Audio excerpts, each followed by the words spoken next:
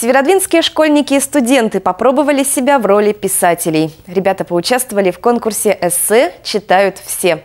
Поступило 109 работ, в них юные авторы рассказали о пользе чтения и познакомили с любимыми книгами.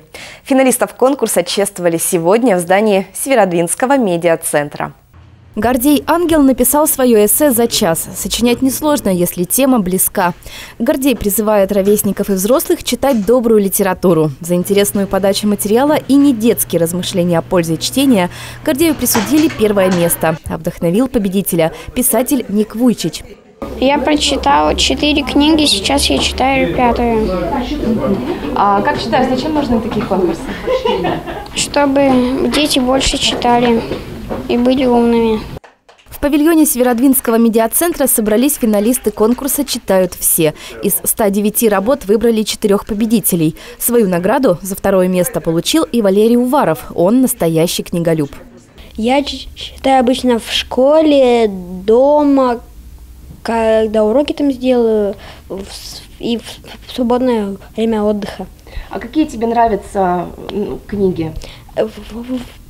Фантастические и сказки. Конкурс эссе читают все, подготовили журналисты газеты «Северный рабочий». Он приурочен к юбилею издания. И так как газеты принято читать, то мы решили распространить этот навык чтения не только на газеты, но и на книги.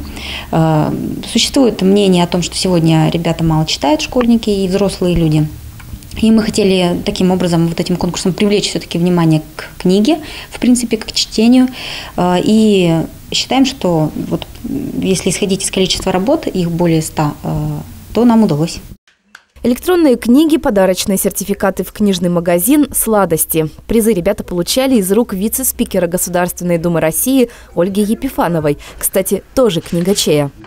Я считаю, что как раз очень многие вещи, очень многие знания, а также правильное написание русского языка я получила именно от того, что очень много читала. То есть книги – это моя страсть.